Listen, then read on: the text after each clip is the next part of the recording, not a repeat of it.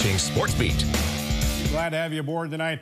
As we await the Super Bowl to help ourselves survive our first Sunday, Spencer, in nearly six months without a real football game, the Jazz were on the court in Minnesota today. Indeed. Oh, and the Jazz have been playing some real basketball. Eight wins in the last nine games type of real, including a four-point home win over the Minnesota Timberwolves on Friday. Tonight, same opponent, different city. Utah's second matchup with Minnesota in the last three days. It's a business trip, of, Rod. Of course it is. Let's see if they come away with a good business deal. Jazz, well, they got cooking early, going a 12-2 run in the first. Joe Ingles bust the three.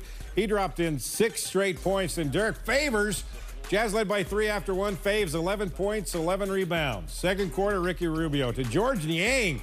And the Jazz now lead by seven. Five minutes left in the half. Donovan Mitchell, he drains the long ball for an eight-point lead.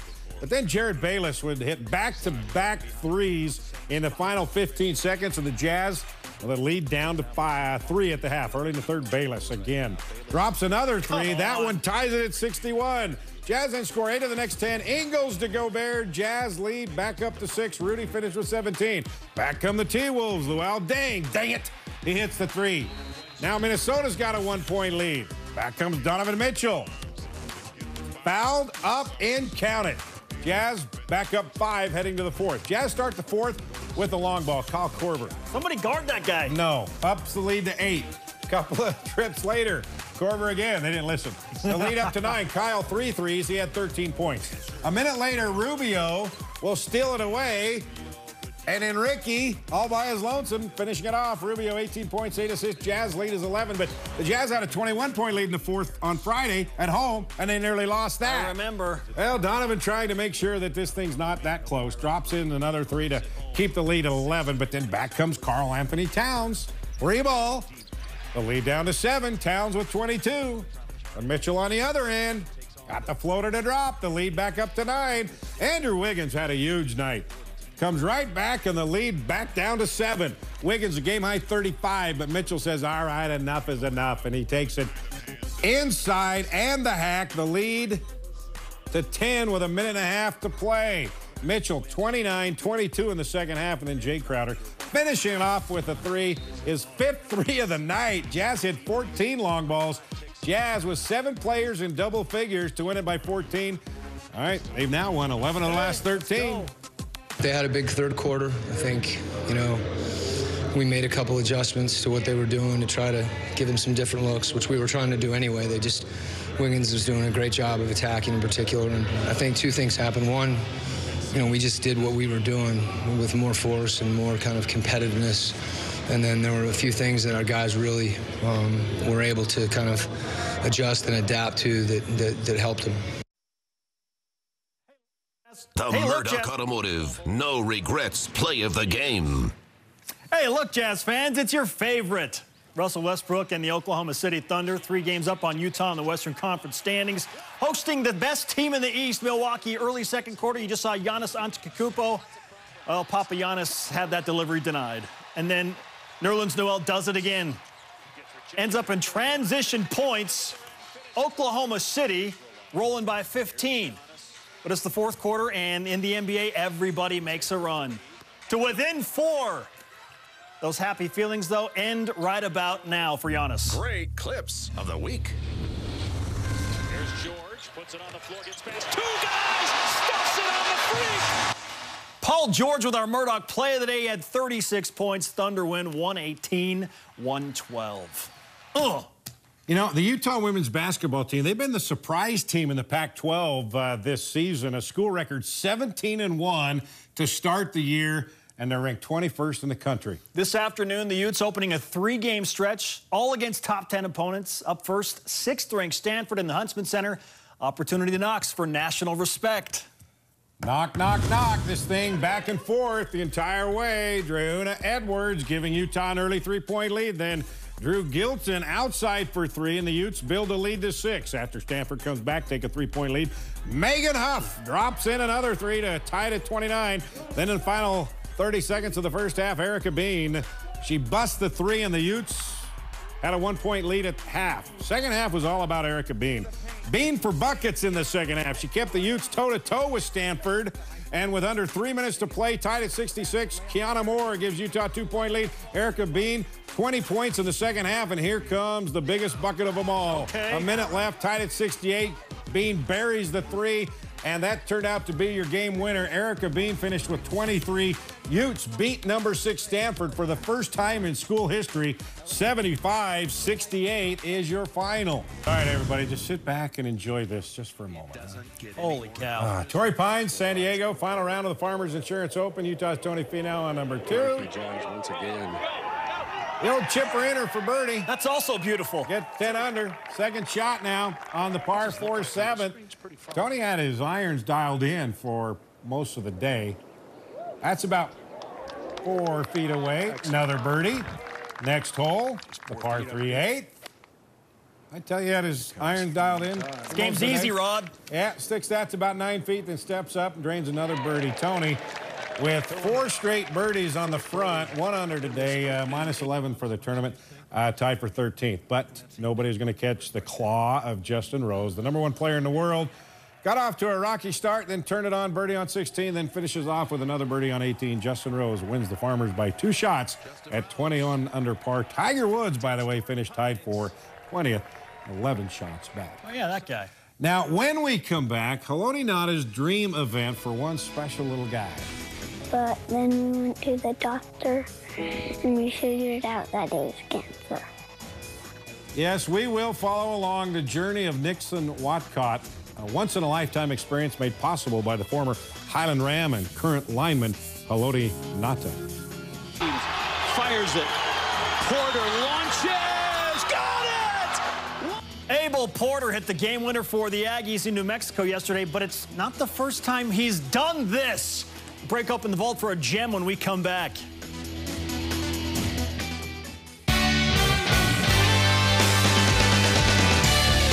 You're watching Sports Beat. All right, each year, former Highland Ram and current NFL defensive tackle Haloti Ngata invites a deserving individual and sends him on an all expense paid trip to an NFL game. Yeah, this is fantastic. KSL's Jeremiah Jensen introduces us to an eight year old from Bluffdale, this year's recipient of the It's Not a Dream event. Haloti Ngata met Nixon Whatcott at Primary Children's Hospital. Nixon didn't know then that he would reunite with Haloti months later, this time at a Philadelphia Eagles game. An unforgettable weekend of fun for this special young man who has been through so much. Nixon, always growing up, has just been fun. I, he's just fun loving, loves life, loves energy, loves sports. He loves school, loves friends, always just active and never stopped doing anything. Nixon is the third among Nick and Janessa Whatcott's four boys, a family that loves sports. Nixon has dreams of playing college football and becoming a Navy SEAL. Nixon, particularly, has been, I mean, he's been playing flag football since he was four with seven and eight year olds just because that's what, it, you know, our buddies did it and we would just do it for fun. And, and he's, uh, he's a good little athlete. While playing sports, Nixon began complaining about leg pain. Typical boy thing, maybe he hit his knee really hard and it was bruised. So we went about three weeks and the pain just was still there. So we decided to go into the doctor and just have it looked at. The Whatcotts weren't prepared for the news they were about to receive. Well, my mom and dad thought um, it was just growing pains, but then we went to the doctor and we figured out that it was cancer. Nixon was diagnosed with osteosarcoma. He had multiple tumors in his femur. They were malignant, and the cancer had spread to his lungs. Our whole world changed. You know, it's more than his leg. This is that. This is we, we're fighting for Nixon's life at this point. Nixon soon began chemotherapy treatment. He also had his femur removed and underwent a procedure called a rotation plasty. Rotation plasty is is honestly, in my opinion, just a miracle. Like instead of true amputation and cutting the leg and cutting and severing nerves, um, you're actually using his own joint. So you you cut out where, for example, he had the tumor in his femur. You're cutting out the femur, but then you're cutting off. Basically, you're taking out the knee joint and taking the tibia and fibia and attaching that up to the femur backwards. So his his foot is on backwards on his leg, and he that is now his knee joint. And then you put a prosthesis onto that, and um, so he's he's literally had to learn how to re-walk. Um, and his brain really has had to rewire his neurons in his in his body of how to make that work properly when he's walking and running. He amazes me at how positive he was through all this. He never once asked, "Why do I have to do this?" He's never once complained um, about anything. I mean, when we started chemo, we were like, "Hey, this is what we have to do," and he's like, "Okay." I mean, he's never fought once about having to go get chemotherapy. I mean, he's mentioned that he's sad, he misses his brothers, he doesn't want to go, but he's never, he's just been like, okay, this is what I have to do to get better, and he's done it. He just goes. He, he you know, he's playing basketball right now, he wants to play baseball, and so he he loves the Navy SEALs, and so we always tell him just keep having a Navy SEAL mentality, and he does, and he just keeps going. So he's he's uh, he's an example for sure, and kind of a reminder for me you know, when you have a bad day, you know, there's there you should just keep keep going forward. The Haloti Ngata Foundation learned about Nixon's story and wanted to give him and his family a vacation they would never forget. They were invited to Philadelphia to be Haloti's guest at an Eagles game. They were so warm and so welcoming. They were just like family. Like we just we loved them. The kids had fun playing together, um, just goofing off.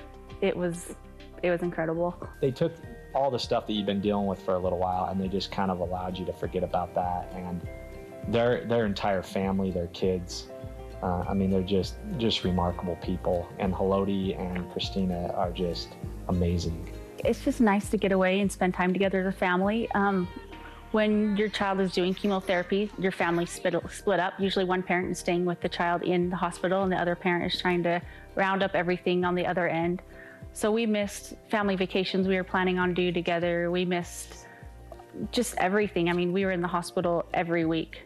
And so just being able to just kind of make up for lost time and just build those memories together and kind of just be carefree and just enjoy one another's time, it really helps like just in healing and just being together. We got to go and see the Rocky statue and the Rocky stairs. I met him in the hospital and then I got to go on the field on the game. He was big and tall. Nixon's battle continues. This experience and the love and support of so many have helped him and his family fight on. There have been so many um, incredible incredible things happen with people. And not only in the community, but throughout the entire country. You know, there there are definitely some days early on when we found out that just, you know, were just struggles. And so, um, I mean, I just feel so blessed. I can't I can't honestly express my appreciation and love enough. Sometimes when you just think, oh, we can't do this again, or this is getting so hard, you'll remember something that somebody sent you or something that somebody's done for you and you just think of Nixon and just keep going. Nixon is adjusting to life with his blade and treatment is going very well. For more on the It's Not a Dream event and the rest of the great work done by the Ngata Family Foundation, go to their website, ngatafoundation.com. All right, Jeremiah, thank you. Nixon, what a stud of a little guy he is, and what Haloti is doing for these kids. It's like his own Make a Wish Foundation just for yeah. his foundation. It, it's truly amazing and, and something that uh, they'll remember forever. You can see why he was the NFL Man of the yeah. Year last yeah. January. I mean, he's uh, an elite human being, and, and a shout out to the family. Nixon, seriously, what a stud. That's right. Nixon, uh, best of luck to you. Absolutely. All right, now back to uh, basketball, including today's win in Minnesota. Jazz went three and one for the week. Not bad. Mm -hmm. Nine wins in the last ten, even better, and that has Jazz fans ecstatic. The one loss in that stretch tips off an otherwise stellar Jazz rewind.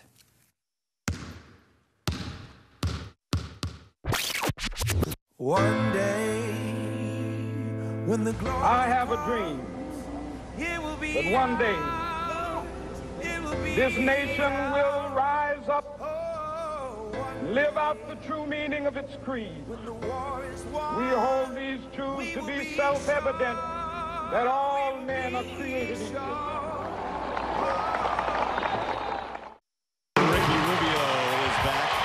Ricky out six games with that right mild hamstring strain. Crowder, lob it inside, phase in traffic. Kicking out Ricky for three. Bang! There he is. Welcome back, Ricky Rubio. Inside, Turner back out the winner. Same spot, same result. McCollum got it. Every possession counts. He'll drive, hang, and hit. He, he recognized it as well. He was kind of jogging the ball, then he went into sprint mode, and now you got a six-point lead. And Donovan has scored the last 10. 10 straight points for Mitchell, and the Jazz cut Portland's lead to six. Joe on a catch-and-shoot three. Up, and that's the way to start it, Jingle and Joe. Rubio gets one to go down. Oh, my. Nice no pass. Look, no looker. Ricky is one sharp cookie tonight, and Gobert on the board. Uh-oh, watch out. Fades a... Uh-oh, now Plumlee, did he throw a punch? We've got some troubles down on that baseline, and we got everybody running. Matt, that escalated very quickly. A couple players will probably be thrown from this game. Here's Donovan straight away. Three. Bang. Jazz pump up a three. Donovan comes right back at you. Ricky Why not? out to Donovan. Yeah! He's got rhythm. We're not kidding. Slides in, takes the three. Oh! Caught the rim and in. Inside, Jokic dumps it down low on the baseline. Rudy got a piece. Donovan falls out of bounds and a foul. The dominator, Rudy.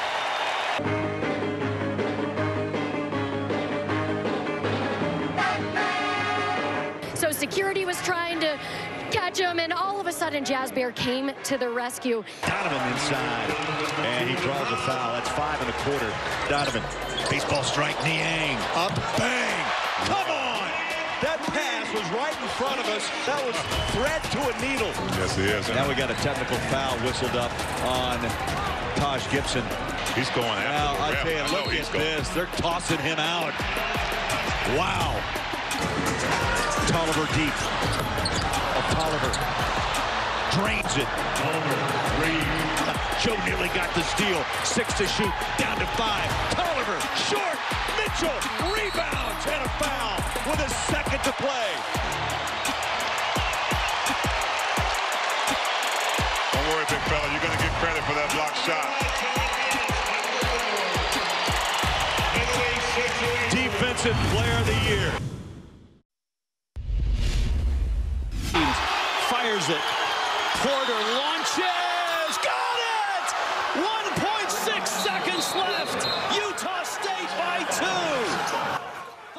Yesterday, Utah State's Abel Porter hit a huge three with 1.6 seconds left to give Utah State a win in the pit against New Mexico. Porter, a walk-on from Davis High School, just received a scholarship two days earlier. How's that for a thank you? Thank you very much. Now, this is not the first time that Abel Porter has hit a game winner. Thanks to 1 800 Got Junk, we dust off the archives and go back to 2012. Let's go. Abel Porter with the ball in his hands. Final seconds for the Davis darts.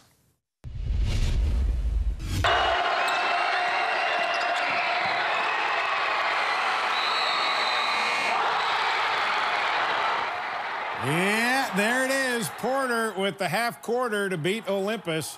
And seven years later, he did it again for the Aggies. Hey, Porter isn't the only Utah player to hit a game winner in the pit. Let's rewind to 1983 after New Mexico hit this three to take a one point lead. Show me Utah's Pace Mannion. Pace, where are you? Going the length of the court. Four, three, For the two. game winner at the buzzer. Another last second win in the pit. Rod, how about the uniforms as well? Of course, man. You have to look in the mirror make sure everything's properly placed with those uniforms. You know? We used to do that all the time. The tighter, the better. You know? Hey, I, like I said, Rod, Rod loves them, man. Well, that's my era. Let's go. All right. Hey, the best fencers in the world are in Salt Lake this weekend for the World Cup Gold Tournament in the Salt Palace. Uh, unique stuff. Former Olympic champions, including those who will compete in the Tokyo Olympic Games in less than two years, are all here. Yeah, we sent our uh, sports photographer, Jay Dorsback, to give us an up close and personal look at the best fencers in the world. saber is very interesting. It's quick, it's fast, it's uh, very energized, very loud. You'll hear a lot of yelling with it. I think it's, you know, the most classic way of describing it as a physical chess game. Saber is all over the place. They're jumping, they're moving back and forth, they're leaping backwards and then coming forwards. It's very um, physically energetic and aggressive. When I was little, I, I would tell everybody it was hitting other kids with metal sticks and not getting in trouble was pretty, pretty spot on for me. so if you think of uh, Captain Hook's sword, that's got the large kind of bell guard that curves around. Captain Hook's sword is actually a saber. Japan, prepare to meet thy doom. Dark and sinister man, have. In Star Wars, the lightsaber, um, it's got a different bottom, so it doesn't have the bell guard like Captain Hook's sword. Only a master of evil, does. My name is Inigo Montoya, Prepare to Die. But, um, you know, that's the most classic one, but I love the whole movie. Hello. My name is Inigo Montoya. You killed my father.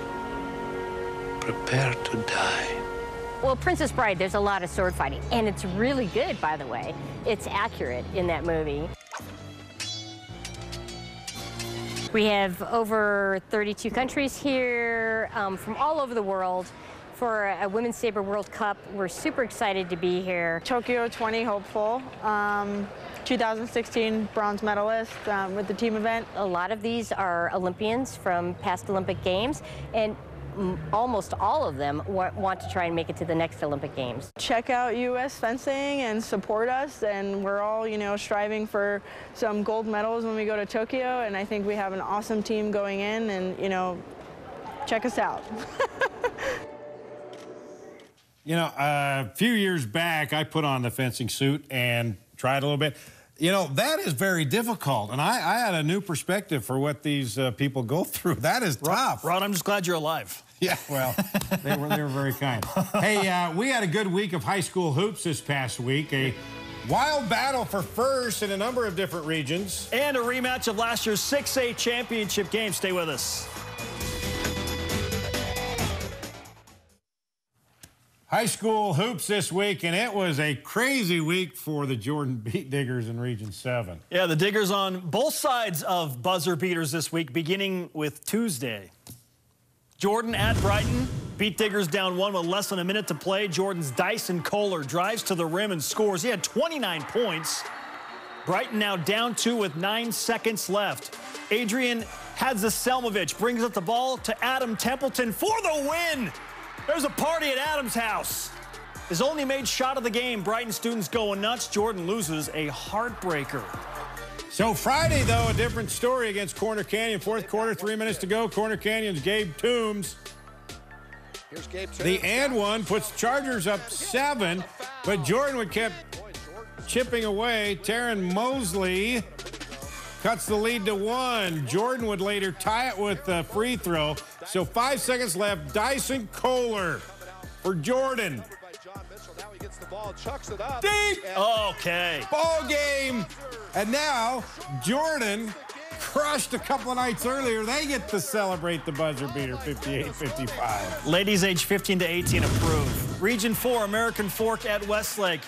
Thunder started 12 and 0, they lost four of the last five. Here's Treden Christensen using the Euro step for the lay-in.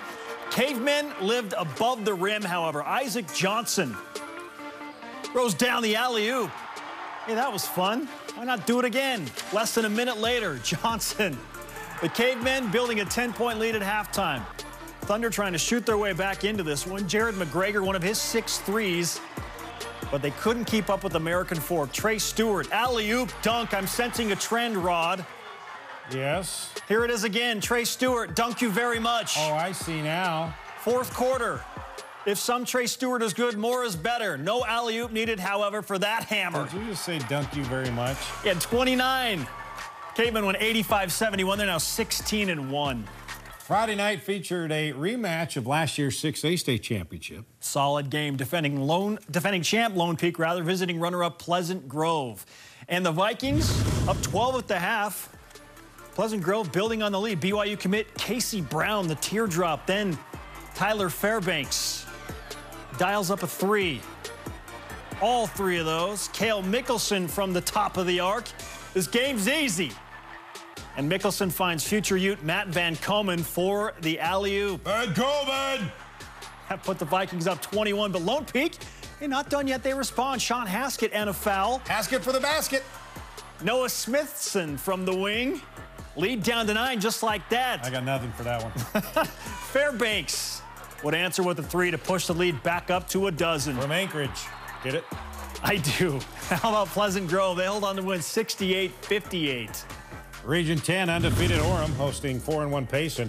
Orem's Taft Mitchell opens up with the three ball. He finished with 34. Payson, uh, Cade Riley, it also go deep. Uh, count Okay, that one. yeah, yeah. Ethan Slade. He's a thief. He had 17, and Tigers remain perfect in region play with a 14 point win. Play of the week, potentially. Might be from Tuesday. Fremont's Dallin Hall behind the back to Baylor Harrop for the dunk. Thank you very much. Yes, indeed, Rob. The two combined for 47 points. Silverwolves win big over Clearfield, 76-52. Layton looking to stop Fremont's win streak. Lancers kept up with Fremont with strong defense the entire way, hosting that block party for the Silver Wolves. Layton led by four going into the final quarter. Tanner Kofod, he led all scorers with 19 points. Fremont fought back in the fourth. Here comes a steal. What are we going to say? Well, it's, it has to Baylor be, Harrop. Dunk you very much on an alley-oop. Okay. Several, you youngins with all your slang, uh, outscore the Lancers 14, uh, Lancers 14-5 in the fourth, to get their sixth straight win. Okay, now this kid isn't on the varsity team yet, but he has one of the great clips of the week. That's coming up next. You'll see it. Great clips of the week. Four-minute drought as Lillard airballs one. Monday against the Blazers, Kyle Korver grabbed Damian Lillard's air ball, proceeded into inbounds the ball. Well, that's a turnover on Kyle, and you know what? He knew it. My he bad. got a good laugh out of it. Hey, if you can't laugh at yourself, somebody else will. Lillard shot it, right? Yeah. Yeah. I thought he probably made it. yeah, you know, I got all that respect for him. And where it drops, I was just assuming I was trying to box somebody out, and it was falling right there, and I figured it went in. And uh, yeah, so I'm Shaq's in the pool. It's my first time, you know, so it's all right. Now, not only his reaction, but Crowder's reaction. Amazing. Friday night before tip-off with the T-Wolves, uh, Jazz Bear to the rescue. A bat flies into Vivint Smart Home Arena, and after terrorizing a couple of ushers and Donovan Mitchell, Jazz Bear, hey, can your mascot do that? Nope. Rescue That was a- scary. I, I'm not. I was not cool with that at all. Uh, I'm glad the bear got him because I would not have finished my warm up. I would have went to the locker room if he was still out there. Rabies shots for everyone. All right, here's a shout out. Tuesday at Harriman High, Jazz players Ekpe Udoh and Tyler Cavanaugh surprising members of Harriman's Hope Squad before the game. The Hope Squad seeks to reduce self-destructive behavior and youth suicide. These students are trained to watch for at-risk students, providing friendship and identity, uh, identify warning signs. They were awarded hats and tickets to a Jazz game and got to meet some of the Jazz players. Great Awesome stuff. That, yeah. Riverton and Harriman freshman game to determine the number one seed for the playoffs. Final seconds. Harriman up two. Riverton's Parker Goff from half court. Uh-huh. Have a night, son. Riverton wins 35-34. He wears number 35. All right, the Mavericks, Luka Doncic, after missing the desperation heave, uh, watch what he does. Arrgh. Okay, have you ever tried to rip a jersey? That takes strength. They're not tearaway jerseys. I, I have not. I mean, not- it's not like Lou. Ferrigno it. You didn't even know what Lou Ferrigno is? I know who Lou You weren't even born The Hulk, he- man. Let's go. He, and- he and Bill Bixby uh, traded uh, personalities. All right, that's it. Thanks for watching, Spencer. Pleasure. Thanks, man. See ya. See ya.